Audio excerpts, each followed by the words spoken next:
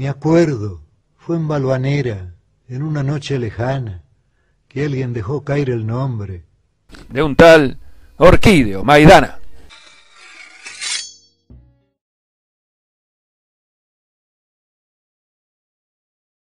¿Quién sabe por qué razón me anda buscando ese nombre? Me gustaría saber si le debo algo a aquel hombre. Alto lo veo y caballo, con el alma comedida, capaz de no alzar la voz ante el costo de la vida. Nadie con paso más firme habrá pisado la tierra.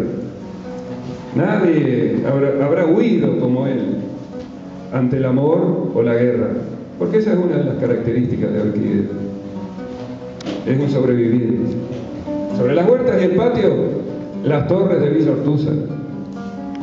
Y aquel encuentro fatal en una esquina cachuza.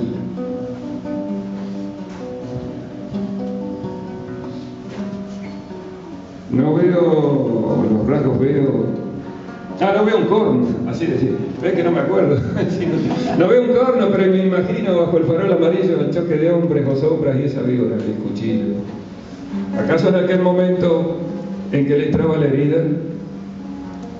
Pensó que a un varón le cuadra no demorar la partida y se tomó el buque. Era. Era rápido con la huida. Solo Borges puede saber la laya fiel de aquel hombre. De lo que hizo esa noche, salir rajando. Señores, nadie se asombra. Entre las cosas hay una de las que no me arrepiento nunca en la vida, dijo Maidana. Esa cosa es haber rajado tiempo. Siempre rajar es mejor. Una huida nunca es vana. Vaya pues esta milonga